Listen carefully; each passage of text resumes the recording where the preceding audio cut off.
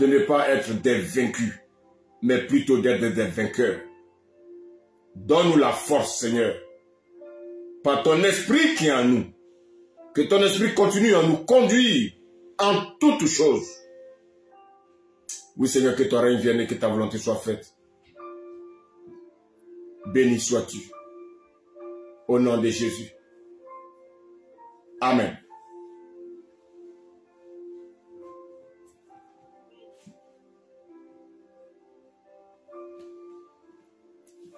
Gloire à Dieu. Bien, nous allons prendre nos Bibles dans le livre de 1 Timothée.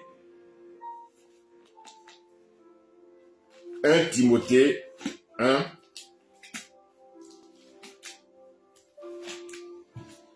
Donnons la JC. Si JC peut nous lire, Alléluia. 1 Timothée 1. 1 Timothée 1, du verset 18 au verset 20. Et je demande vraiment aux uns aux autres vraiment d'être attentifs à la parole de Dieu ce soir.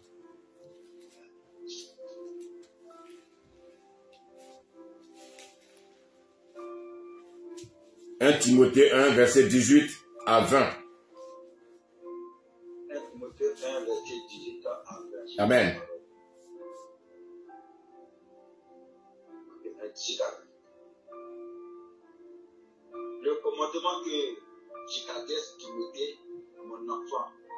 Selon les prophéties faites récemment à ton sujet, c'est que, d'après elle, il combat le bon combat. En gardant la foi et une bonne conscience, cette conscience, quelques-uns l'ont perdue. Et ils ont fait naufrage par rapport à la foi. Verset 20.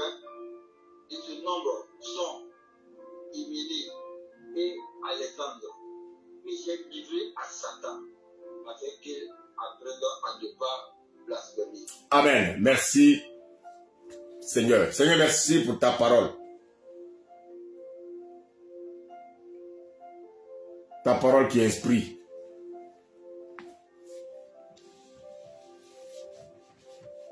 Bien-aimé, je voulais que notre cœur soit disposé.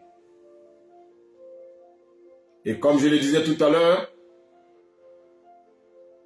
nous sommes dans des temps difficiles.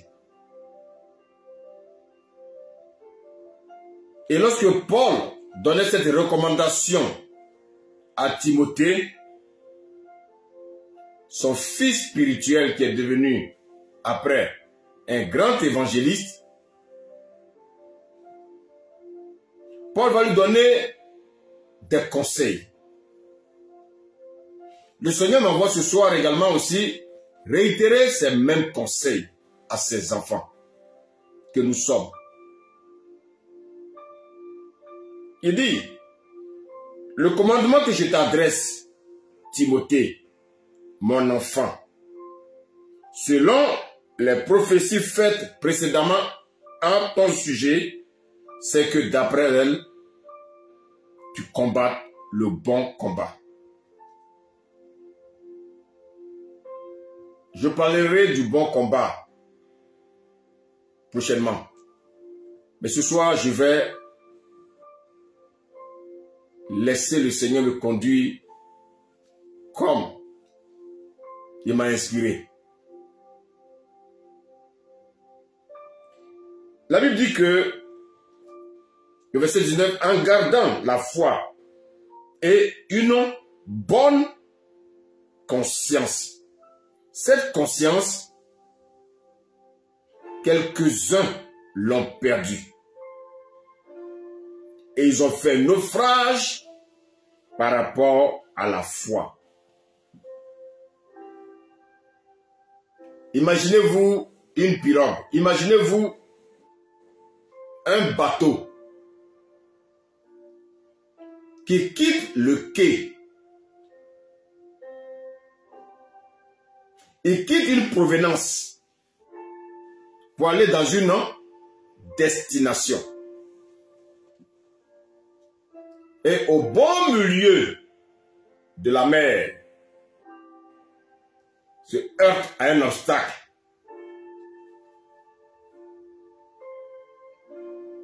Et en heurtant donc cet obstacle, ce bateau va faire naufrage. Alors, regardez bien. Lorsqu'un bateau, lorsqu'un navire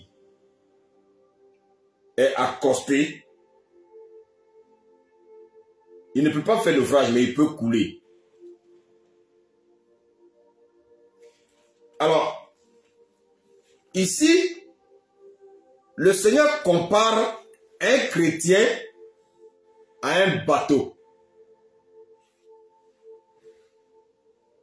La vie chrétienne est considérée comme un bateau qui est en pleine activité, qui est en pleine allure. Et ce bateau, en pleine allure, allure peut faire naufrage. Donc un chrétien qui est en pleine allure peut également faire naufrage. On peut commencer.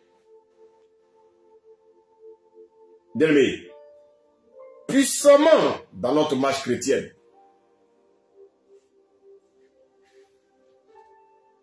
Et au bon milieu de notre marche chrétienne, nous pouvons faire naufrage.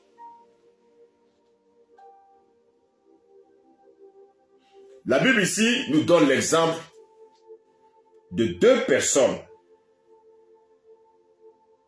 Hyménée et Alexandre. La Bible dit que ces deux personnes ont fait naufrage à la foi.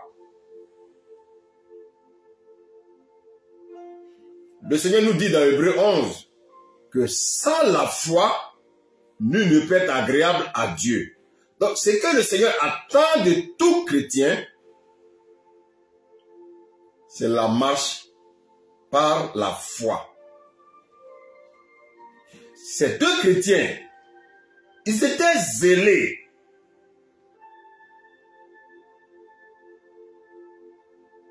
Ils étaient tous les jours à l'assemblée pour écouter la parole. Ils avaient des moments d'évangélisation. Ils avaient des moments de prière en famille. Ils ne rataient jamais un culte d'action de grâce. Mais regardez, Paul nous dit ici qu'ils ont fait naufrage. Paul nous dit qu'ils ont fait naufrage. Vous savez, plus le temps avance, parce que n'oublions pas que nous sommes à la fin des temps des nations, plus le temps avance, plus il y a beaucoup d'Hyménée et d'Alexandre dans l'église de Dieu.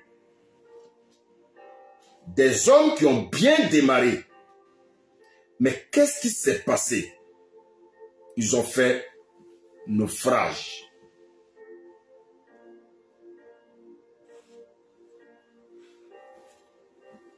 Je voulais attirer l'attention des uns et des autres. Attention, ne faites pas naufrage. Beaucoup on fait naufrage et on fait beaucoup de dégâts. Beaucoup se sont perdus et ils ont été emportés des personnes qui étaient mal affermies. Beaucoup se sont perdus dans la maison de Dieu et ils ont emporté plusieurs avec eux. Voici pourquoi chrétien, je ne sais pas là où tu es, je ne parle pas de ta dénomination. Je te parle en tant que chrétien, de manière individuelle, à te dire que ne deviens pas comme Hyménée, ne deviens pas comme Alexandre.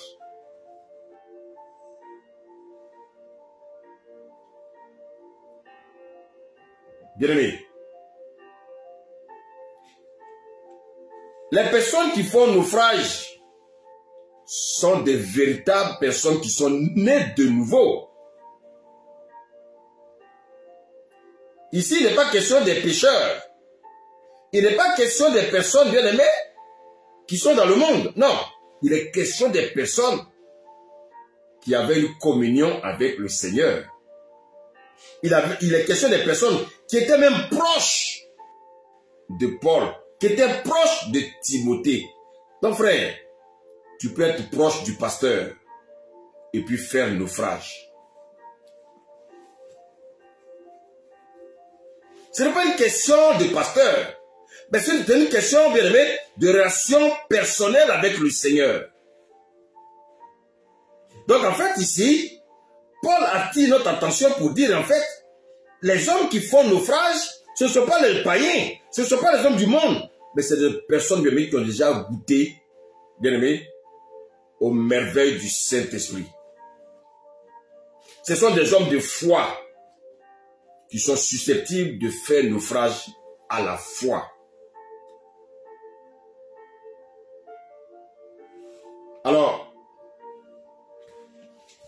Qui a pu causer la perte d'Hyménée et Alexandre Ils étaient pourtant très zélés. Ils venaient à l'église à l'heure. Ils ne venaient pas en retard, non. Ils venaient à l'heure. Il ne manquait aucun culte d'action de grâce.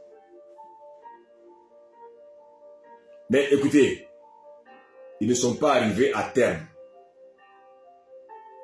Car ils ont fait naufrage par rapport à la foi. Donc, ils ont échoué dans leur marche chrétienne.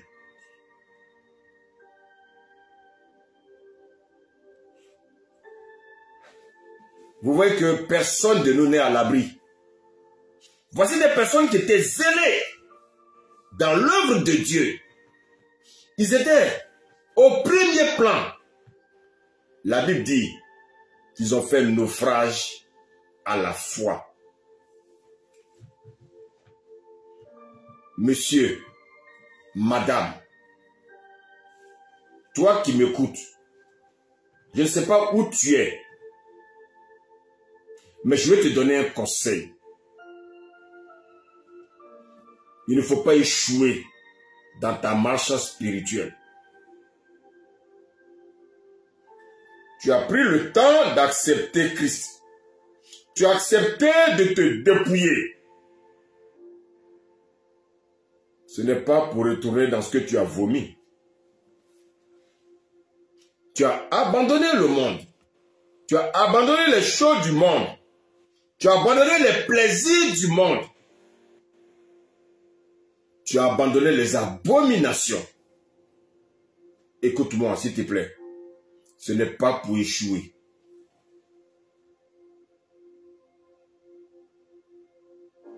Ce n'est pas pour échouer. La Bible nous dit ici que Alexandre et Hyménée ont fait naufrage. Alors, qu'est-ce qui a causé leur perte? Quand ils ont commencé avec le Seigneur, ils étaient très zélés. Mais qu'est-ce que a pu, qu'est-ce qui a pu causer leur perte? Comment se fait-il que en plein milieu de leur marche, ils ont fait naufrage? Alors, comment peut-on éviter le naufrage de la foi? Dois-je conduire ma vie chrétienne pour ne pas faire naufrage Bien-aimé,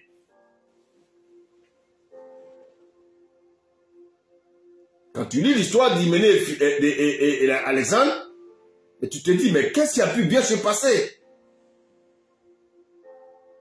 Si Paul en parle, c'est que c'était des gens qui avaient un bon témoignage. Mais regardez, nous avons la réponse dans la parole. On ne va pas inventer les choses. Allons avoir les réponses que le Saint-Esprit nous donne. Quelle a été la raison de leur naufrage? Quelle était la cause de leur naufrage?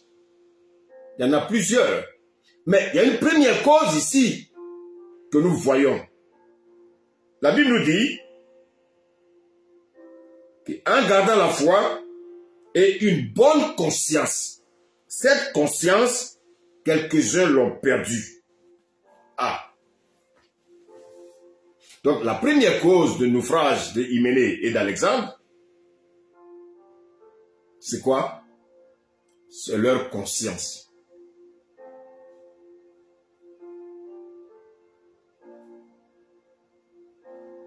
C'est leur conscience.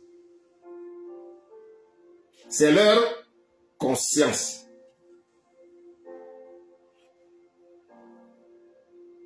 Ce qui a conduit l'échec de Hyménée et de Alexandre, c'est qu'ils ont écouté, bien aimé, c'est la parole.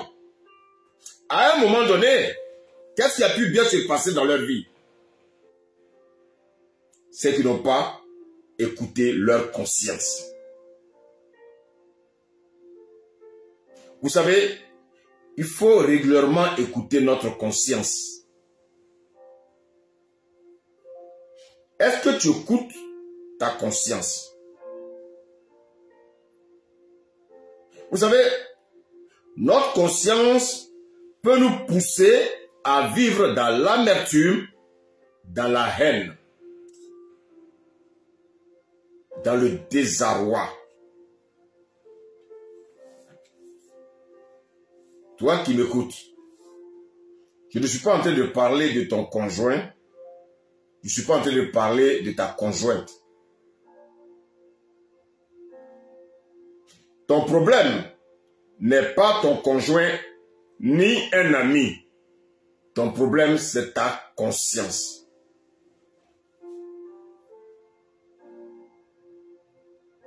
Quelque chose s'est passé dans ta vie.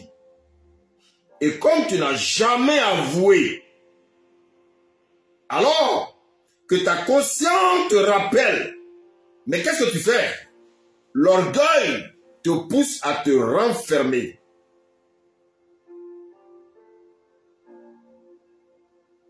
Et lorsque le Saint-Esprit te rappelle ce péché que tu as commis, qu'est-ce que tu fais?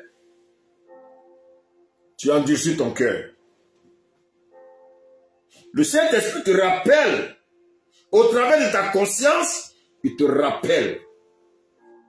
À un moment donné, tu vois, tu as l'impression que tu n'as même plus de joie. Tu n'as plus de paix. Écoute-moi. Ta conscience peut bloquer toute ta vie.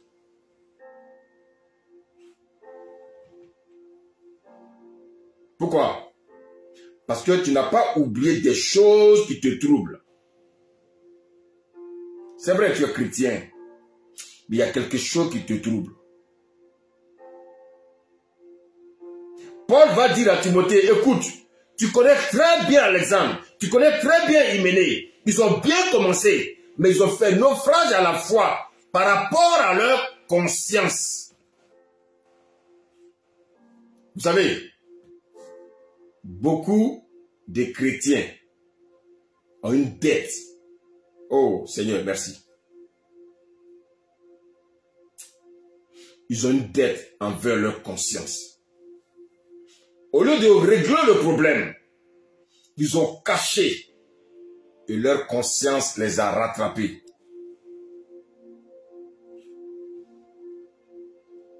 Soit par ignorance, soit de manière délibérée. Écoute, tu peux régler ton problème de conscience.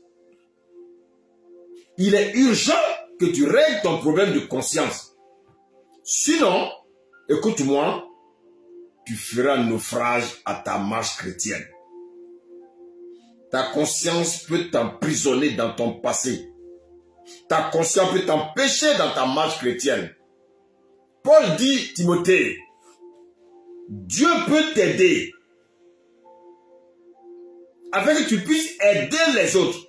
Mais pour cela, il faut avoir une bonne conscience.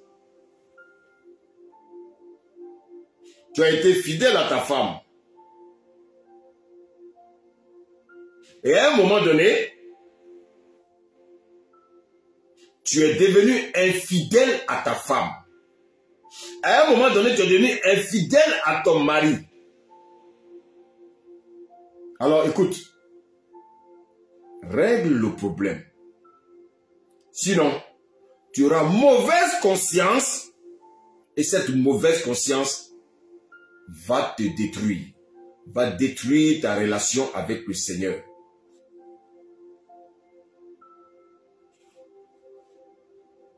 Beaucoup ont mauvaise conscience parce que dans ta jeunesse, tu as commis des avortements. Beaucoup ont mauvaise conscience parce que bien ils commettent l'adultère. Oh. Beaucoup ont mauvaise conscience. Parce que au-delà de leur mariage, ils ont conçu des enfants hors mariage. Et ta conscience te persécute. Il faut simplement avouer. Il faut avouer. Hyménée et Alexandre ont fait naufrage à la fois. Ils ont échoué. Donc, vous voyez qu'ici, la première cause première cause qui a conduit Hyménée et Alexandre à perdre la foi, c'est leur conscience. Ils ont fait naufrage par rapport à la foi.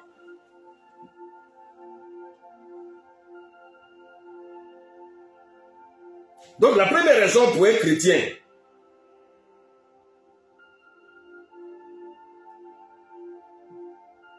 La première raison qui peut pousser un chrétien à perdre la foi, c'est sa propre conscience. Tu as posé un acte qui n'est pas bien. Aujourd'hui, le Saint-Esprit te ramène ça dans ta pensée. Mais tu résistes. Pourquoi tu résistes? Ça va te pousser à perdre la foi. Donc notre conscience, peut nous pousser à perdre la foi. On va aller dans 1 Corinthiens 8. 1 Corinthiens 8. Regardez ce que le Seigneur nous dit. On va lire 1 Corinthiens 8. Lisons le verset 7.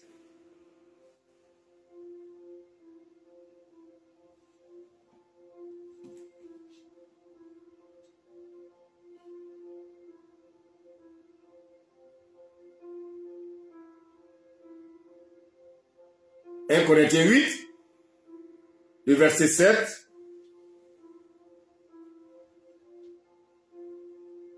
Alléluia. Je ne sais pas si, si ce n'est pas, n'est pas là. Eh, Thomas, est-ce que tu peux nous lire? Amen. 1 Corinthiens 8 au verset 7. Oui. Écrit, Mais tous n'ont pas cette connaissance. Quelques-uns, marqués par la manière dont ils perçoivent encore les idoles, mangent de ces viandes comme leur étant sacrifiées. Oui. Conscience et leur conscience qui est faible en est souillée. Merci. Amen. Amen. Alors, vous savez, un chrétien doit avoir une conscience ferme. Une conscience qui te rappelle ton passé. Satan va te manipuler. Il va douter. Écoute-moi bien. hein. Tu vas douter du pardon de Dieu. Tu vas douter même de ta repentance. Tu, tu vas douter même de toutes tes confessions que tu as faites auprès de Dieu. Écoute-moi. Dieu, le Dieu que je connais, va te rappeler, bien-aimé, que lui ne t'a pas pardonné parce que tu étais un pratiquant de la sorcellerie. Non, tu étais un ancien sorcier. Tu t'es repenti. Tu as abandonné. Maintenant, pendant ta confession, s'il y a des choses que tu n'as pas dites, ta conscience va continuer à te rappeler les choses que tu n'as pas posées comme acte. Voici quoi beaucoup de chrétiens souffrent. Quand ils confessent les choses, il y a des choses que de manière volontaire ou involontaire, ils oublient de confesser. Ta conscience qui est faible peut te faire échouer ta vie spirituelle. Ou bien, tu as confessé quelque chose, mais tu as l'impression que ça te hante. Qu'est-ce que tu dois faire? Il est urgent de demander à Dieu de fortifier ta conscience. Dieu peut te fortifier ta conscience. Vous savez, le diable est un accusateur. Il va te pousser à te culpabiliser de tes erreurs passées. Oh, bien aimé, la Bible dit que celui qui a il est une nouvelle créature. Les choses anciennes sont passées. Appuie-toi sur la parole. Rappelle à Satan que les choses anciennes sont passées. Beaucoup sont encore hantés par leur passé. Et chaque fois que les choses que tu as confessées, tu as l'impression que bien aimé, Satan te les ramène. Si tu ne fortifies pas ta conscience, ta conscience va s'affaiblir. Et si elle affaiblit, elle va être souillée par tout ce que tu vois. Et voici pourquoi il faut faire très attention. Ta conscience va être souillée par tout ce que tu entends. Oh, Dieu ne peut pas travailler dans la vie d'une personne qui a une conscience qui est souillée.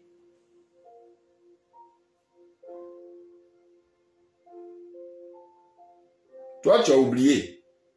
Dieu n'oublie pas. Satan aussi n'oublie pas. Et c'est pour ça que le Seigneur nous demande de confesser. Pourquoi le Seigneur nous demande de confesser? Parce qu'il sait qu'il y a un accusateur qui va vouloir nous ramener sur notre point de départ. On va lire titre 1, verset 15.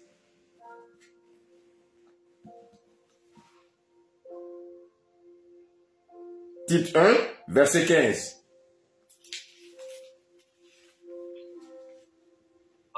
Amen. Tout est pur pour ceux qui sont purs, mais rien n'est pur pour ceux qui sont souillés et incrédules. Bien plus, leur intelligence et leur conscience sont souillées. Merci. Merci. Le Seigneur dit ici que tout est pur pour tous ceux qui sont purs. Mais rien n'est pur pour ceux qui sont souillés et incrédules. Leur intelligence et leur conscience sont souillées. Alors, qui peut faire naufrage à la foi? Tout chrétien qui marche par la foi, bien aimé, peut faire naufrage à la foi. Vous voyez que Hyménée et Alexandre ont eu leur conscience souillée. Et ils ont fait naufrage à la foi. Tu peux être un pasteur. Tu peux être un chrétien craignant Dieu. Mais la conscience peut être mauvaise. Si tu ne prends point garde, tu feras naufrage la foi.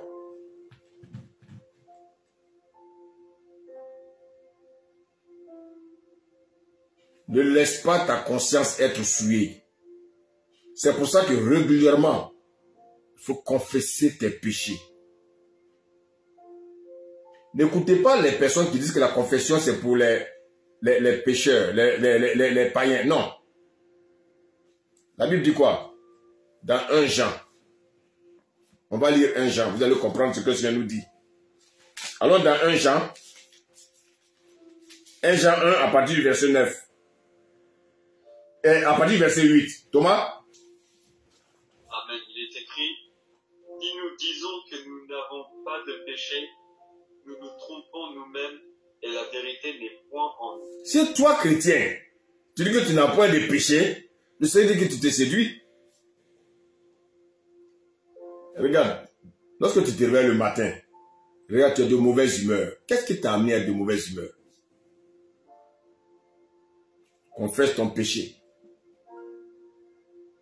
Donc déjà, on peut pécher par nos pensées. Si le mari de nuit ou bien la femme de nuit t'a visité et que ton corps a été souillé, bien aimé, il vient voler ta bénédiction. Ou bien elle vient voler ta bénédiction. Toute la semaine, là, c'est une- semaine de désastre. Confesse ton péché. Parce que si le mari de nuit ou la femme de nuit est venue t'attaquer, c'est parce que tu as ouvert une porte. Qu'est-ce qu'il dit au verset 9 Vas-y. Amen. Il est écrit, si nous reconnaissons nos péchés, il est fidèle et juste pour nous les pardonner et pour nous purifier de tout mal. de tout mal, toute iniquité. Je dis bien toute iniquité. Ne vous laissez pas distraire par les gens qui veulent se faire passer pour des hommes trop spirituels. Tu as péché. Confesse rapidement ton péché. Voilà tout ce que le Seigneur te demande. Maintenant, il dit quoi? Si nous disons, verset 10, vas-y. N'avons pas de péché, nous faisons de Dieu un menteur et sa parole n'est point en nous. Voilà. Amen. Amen. Nous sommes spirituels. Écoutez, notre esprit est né de nouveau. Et notre âme. Et notre corps. Voici pourquoi, tant que nous sommes dans ce corps de péché, Satan va nous tenter. Et la chair aussi, bien aimé, va nous pousser à pécher. Mais le Seigneur dit, confesse simplement tes péchés. Vas-y, mon bien-aimé, j'ai dit que tu peux être pasteur, tu peux être bien-aimé apôtre, quel que soit ton titre, un chrétien craignant Dieu, mais tu peux avoir une conscience mauvaise. Et si ta confiance est mauvaise, si tu ne te fortifies pas, tu ne fortifies pas ta conscience, tu feras naufrage à la foi. On va lire 1 Timothée 3, verset 9.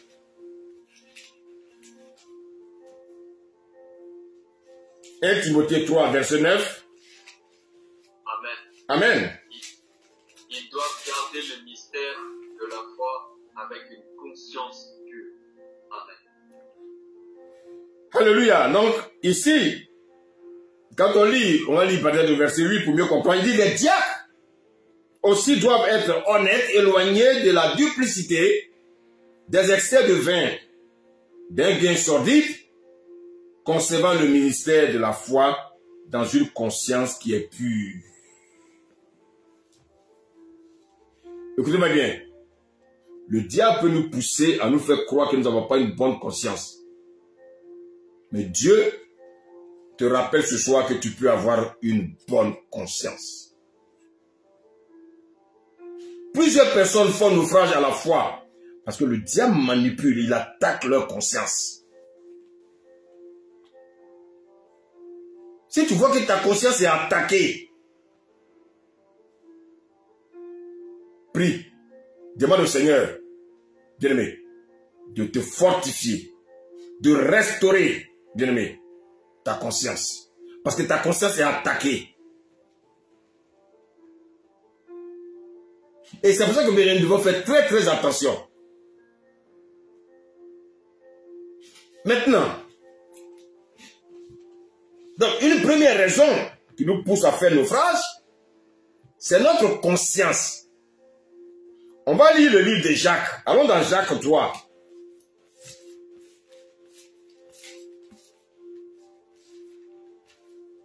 On va lire à partir du verset 3 à 5.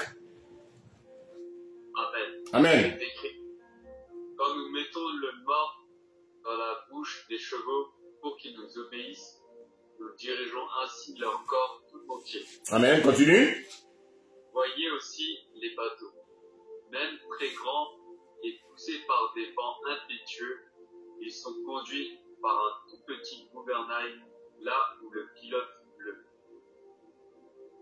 De même, la langue qui est un petit membre et elle peut se vanter de grandes choses. Voyez comme un petit feu peut embraser une grande forêt. Merci. Amen. Amen. Le Seigneur dit quoi? Le Seigneur dit que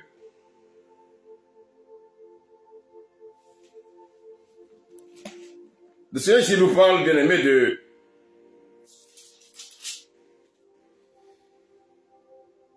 il parle de, du mort dans la bouche des chevaux.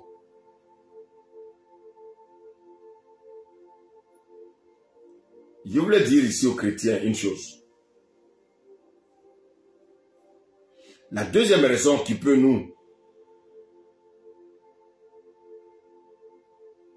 conduire à faire naufrage,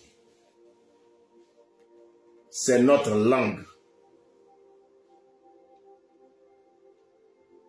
Notre langue qui colporte des calomnies te poussera à faire naufrage. La Bible dit quoi? C'est le petit gouvernail qui envoie le bateau à gauche et à droite. Et on parle de naufrage et on parle de bateau. Donc le, le gouvernail, c'est le plus petit. Il est plus petit qu'un bateau. Regardez le gouvernail là. Il est plus petit qu'un bateau. Notre vie est comme un bateau. Notre vie est comme un navire. Et notre langue est comme un gouvernail. Vous voyez qu'un petit membre qui contrôle toute notre vie. Vous voyez qu'en fait, notre langue peut nous créer des problèmes. La Bible dit quoi? C'est de l'abondance du cœur que la bouche parle. Donc le cœur va utiliser la bouche pour parler. Et ta langue va être mise à la disposition pour parler. Vous savez, il y a beaucoup de chrétiens qui sont conduits malheureusement par leur langue au lieu d'être conduits par le Saint-Esprit.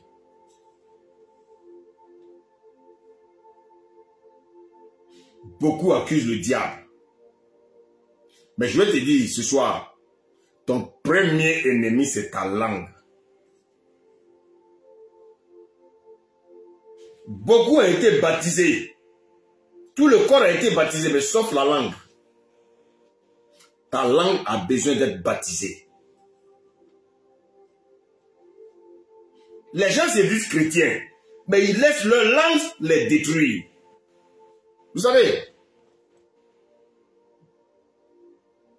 le Seigneur me dit de te dire ce soir que ta langue doit te servir à gagner des âmes. Ta langue doit te servir à gagner des âmes. Sinon, tu feras naufrage à la foi.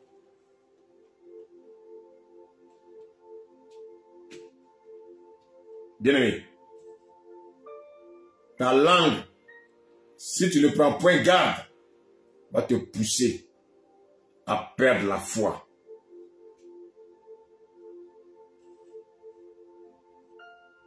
Bien-aimé, ne laisse pas l'ennemi te séduire.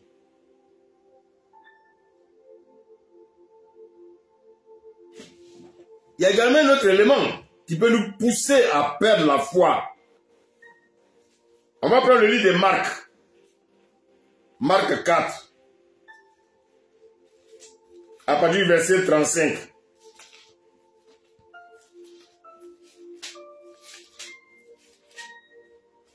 Marc 4 à partir du verset 35. À partir du verset 35. Oui. Amen. Ce jour-là, le soir venu, Jésus leur dit, passons sur l'autre rive. Après avoir envoyé la foule, ils l'emmenèrent dans la barque où il se trouvait. Il y avait aussi d'autres barques avec lui. Verset 37. Un vent violent s'éleva et les vagues se jetaient sur la barque, au point qu'elle se remplissait déjà. Amen. Amen. Ici, Jésus et ses disciples ont quitté un bord. Mais il faut arriver à l'autre bord. Qu'est-ce qui va se passer?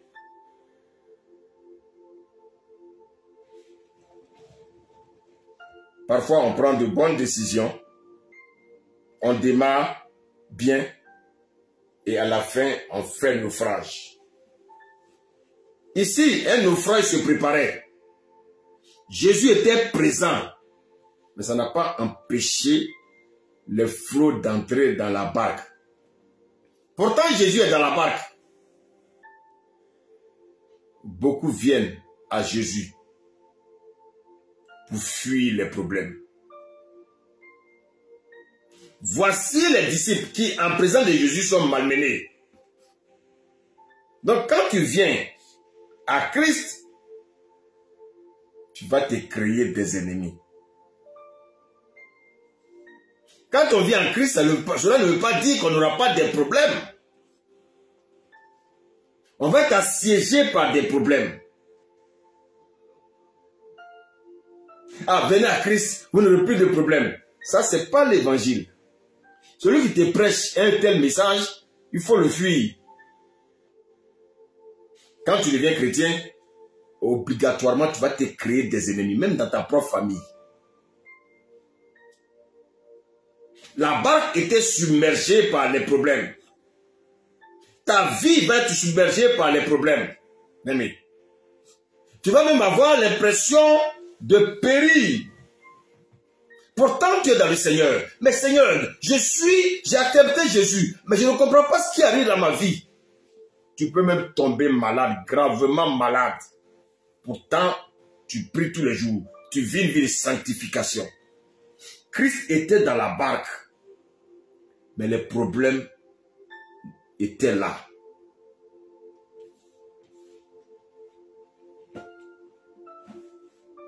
Quand tu as des problèmes, ne pleure pas comme les disciples. Appuie-toi sur Christ. Quand tu es en Christ, quand les problèmes commencent, ne fuis pas. Et regardez bien, lis le verset 38.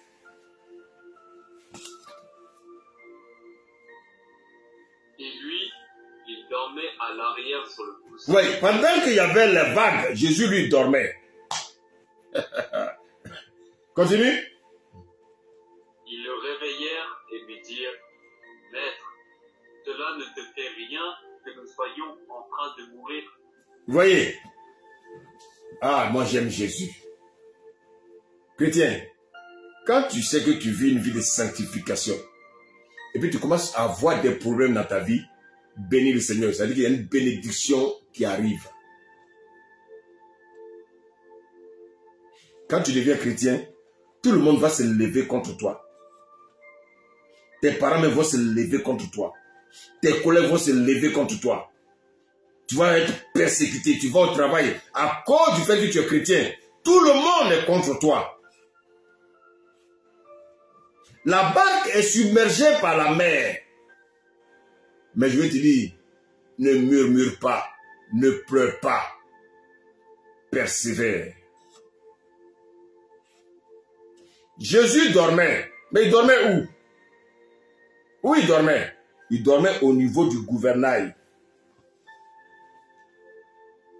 Que vont faire les disciples? Verset 39, tu vas lire? Amen. Il se réveilla, menaça le vent et dit à la mer, Silence, tais-toi. Le vent tomba et il y eut un grand calme. Alléluia. Amen. Donc Christ va se réveiller il va menacer la main, il va dire silence. Il va exercer ce qu'on appelle l'autorité qu'il a reçue de son Père.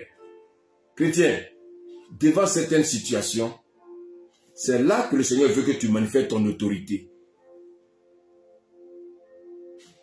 Les chrétiens, au lieu de manifester l'autorité que le Seigneur leur a donnée, c'est là qu'ils vont pleurer.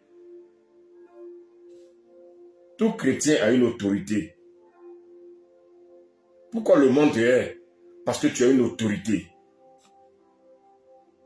Le diable peut déclencher des choses contre toi, contre ta famille, contre ton quotidien. Ta barque va s'enfoncer. Ta vie chrétienne va s'enfoncer. Tu es même submergé par des problèmes. Il faut dire à Satan, ça n'est assez. Vous savez, il y a une différence entre la puissance et l'autorité.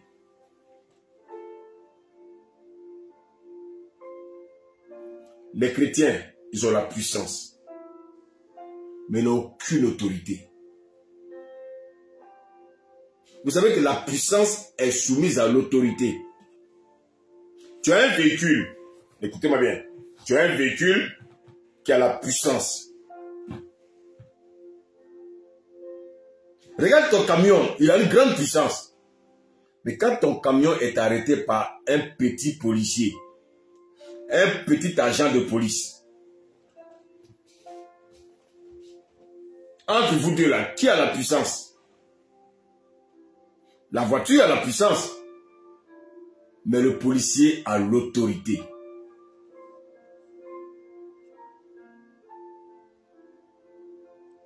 Écoutez-moi bien.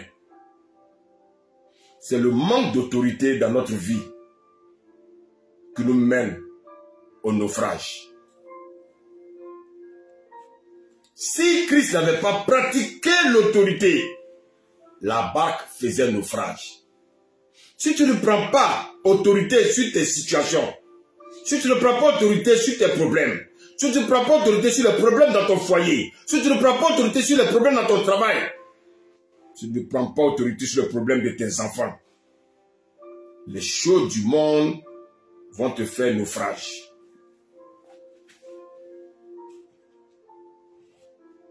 Bien-aimé, tu pries, c'est vrai. Mais le Seigneur, à un moment donné, veut que tu manifestes ton autorité.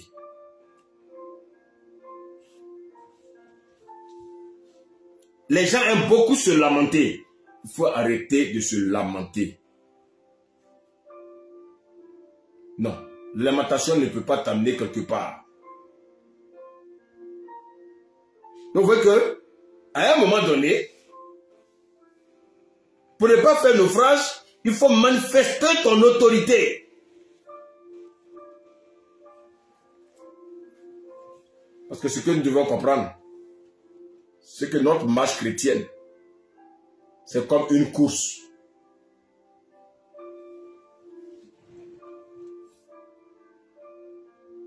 Et ici, quand on voit l'exemple d'Hyménée,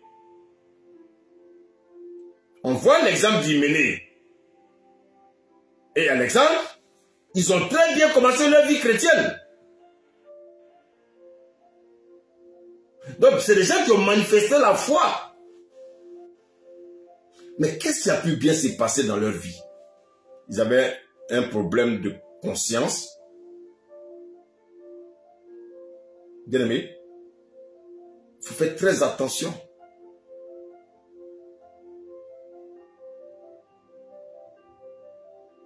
Moi j'ai la foi. Moi j'ai la foi. Vous savez, quand on a la foi, la foi, on, on ne dit même pas que j'ai la foi. La foi, ça se manifeste.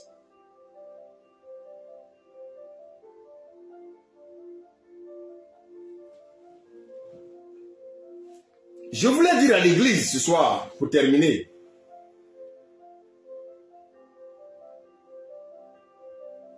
que nous sommes dans une course. Je vais prêcher ça quand le Seigneur permettra. On parlera un peu de la course. Nous sommes dans une course. Qu'importe que tu sois pasteur, cinquantenaire même dans la vie chrétienne, ça n'a aucune importance. Nous sommes dans un temps qui est très sérieux, un temps qui est très fragile pour l'Église. Et voici pourquoi nous, en tant que chrétiens,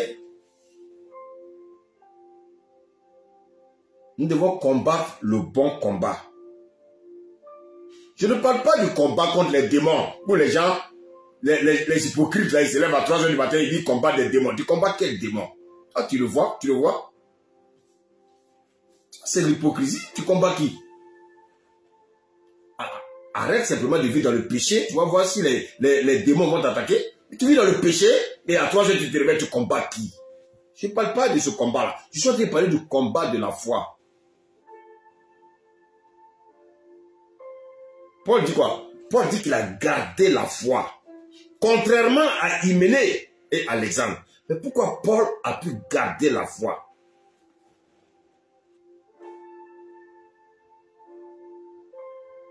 Bien pourquoi il a pu garder la foi? Parce qu'en fait, la foi est un combat. C'est un combat que nous devons mener tous les jours. Paul dit qu'il a terminé la course. Mais qu'est-ce qui prouve qu'il a terminé la course? Parce qu'il a gardé la foi. Donc en fait, la foi, c'est la foi qui nous permet de garder, de terminer la course. Regardez ce que nous dit 1 Timothée 4. 1 Timothée 4, verset 1. Amen.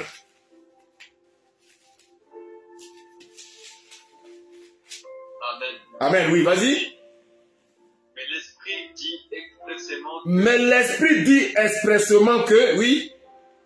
Dans les derniers temps. Dans les derniers temps. Certains abandonneront la foi pour s'attacher à des esprits trompeurs et à des doctrines de démons. Merci. Il dit, quelques-uns abandonneront la foi pour s'attacher à des esprits séducteurs et à des doctrines de démons. Regardez ce qu'il dit au verset 2, vas-y.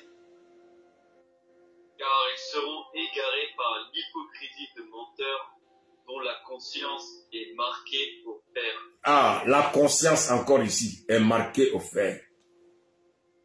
Voici des personnes qui ont bien commencé. Comment ont-ils fait pour abandonner la foi? Si tu n'aimes pas la vérité, tu vas abandonner la foi. Si tu veux des messages, ils vont dire, oh, tu vas te marier, oh, tu es jolie, oh, tu vas, tu vas avoir l'argent, oh, tu vas voyager. Toi, tu n'es pas fatigué d'entendre des mensonges comme ça. C'est derrière des hommes comme ça que toi, tu cours.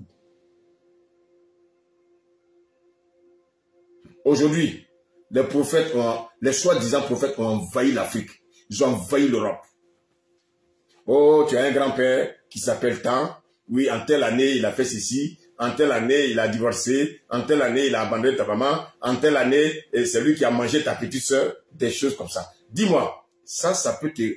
On te rappelle un passé. Ça va t'apporter quoi?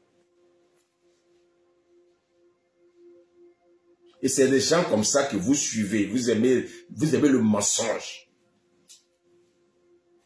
Vous savez, les vrais prophètes dans la Bible, c'est des gens qui dévoilaient les péchés dans la vie des gens. vos, vos prophètes aujourd'hui, ce sont des diseurs de bonne aventure. En fait, c'est qui? Ce sont des marabouts qui portent maintenant des costumes.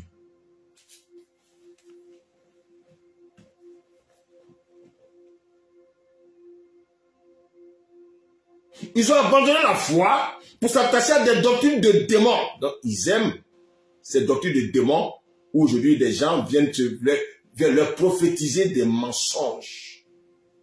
Mais la prophétie même qu'on te donne là, elle peut être vraie. Mais quel est l'esprit qui donne cette prophétie? Tous les féticheurs, ils viennent avec des, fétiches dans leur poche. Et puis ils viennent, oui, il y a tel, toi qui as, ou bien souvent qu'est-ce qu'ils font? Ils préparent des personnes pour venir dans l'assemblée. C'est ces personnes-là à qui ils ont affaire. Mais les autres, ils ne peuvent pas. Et vous êtes comme vous êtes tellement aveuglés. Vous ne comprenez pas.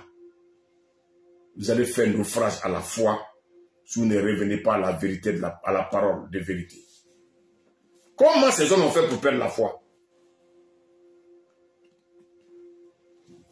Comment ont-ils fait pour perdre la foi? L'amour des choses de ce monde. Ce soir, je ne parle pas de la foi pour avoir la guérison. Non. Je suis en train de parler de la foi, d'aimer, pour avoir le salut. Comment tu dois demeurer en Christ? Comment avoir la foi pour fuir les choses de ce monde? Comment avoir la foi pour demeurer, bien-aimé, dans la crucifixion de Christ? C'est de ça que je parle.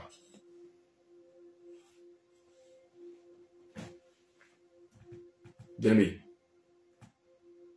Timothée est devenu évangéliste. Il devait garder la foi pour persévérer dans son ministère. Donc un homme de Dieu va aussi doit garder la foi pour persévérer dans son ministère, même quand c'est difficile. Lui persévère. C'est de ça qu'il s'agit. Il faut persévérer pour garder la foi. Parce que si tu ne persévères pas, tu vas faire un naufrage. Regardez de plus en plus les gens qui ne vont plus à l'église. Pourquoi? Parce que mon mari m'a m'a fait telle chose. Parce que ma femme m'a fait telle chose. Parce qu'un pasteur m'a dit telle chose. Donc je ne vais plus à l'église. Voici des gens qui abandonnent la foi. Donc ces hommes-là, en fait, ils n'ont jamais reçu la foi. La vraie foi, là, quand on l'a, bien aimé, on la garde. Comment Paul a fait pour garder la foi? Parce que Paul a reçu un évangile authentique. Pourquoi toi, ta foi se perd en petit bon chemin Parce que ta vie chrétienne était basée sur, bien aimé, les choses de ce monde. Nous, on n'est pas là pour prêcher les choses de ce monde. On est là pour prêcher Christ. On est là pour prêcher le retour de Christ. On est là pour prêcher la repentance. On est là pour condamner, bien aimé, le péché. Quand tu vas aimer ces choses, tu vas garder la foi. Paul est un homme comme toi et moi. Comment il a fait pour garder la foi? Paul a gardé la parole de Dieu. Paul n'est pas devenu tiède. Paul n'a pas perdu sa communion avec le Seigneur. Paul aussi a eu des attaques. Il y a des hommes de Dieu, qui, l'ont attaqué, des formes de Dieu. Il y a même des chrétiens qui ont humilié Paul. Mais Paul n'a jamais abandonné la foi. Il n'a jamais fait naufrage à la foi.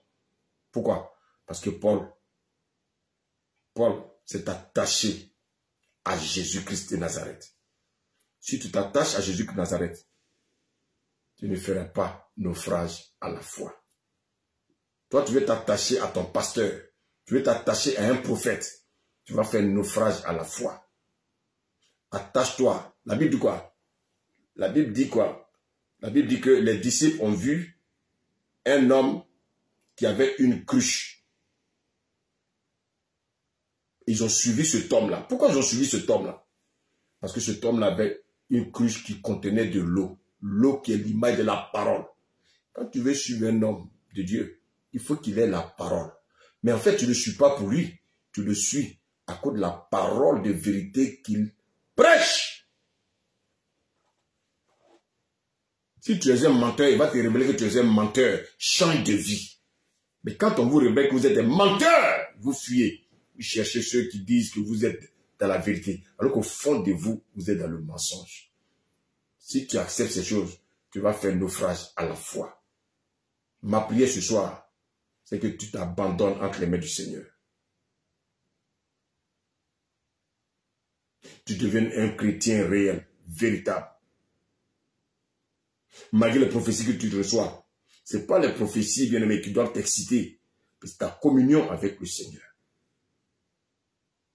Ne te laisse pas tromper par n'importe qui. Médite la parole la nuit et jour. C'est le conseil que le Seigneur a donné à Josué. Voici pourquoi Josué a réussi sa mission. Tu veux réussir ta marche chrétienne? Médite la parole jour et nuit. Lorsque tu écoutes un homme de Dieu qui n'est pas dans la vérité, il faut le fuir. Parce qu'aujourd'hui, il y a beaucoup de philosophes qui se font passer pour des hommes de Dieu. La parole de Dieu, ce n'est pas la philosophie. Non. C'est quelque chose de plus sérieux.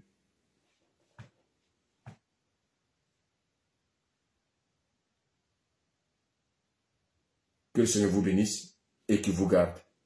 À la prochaine. Bye bye. Amen.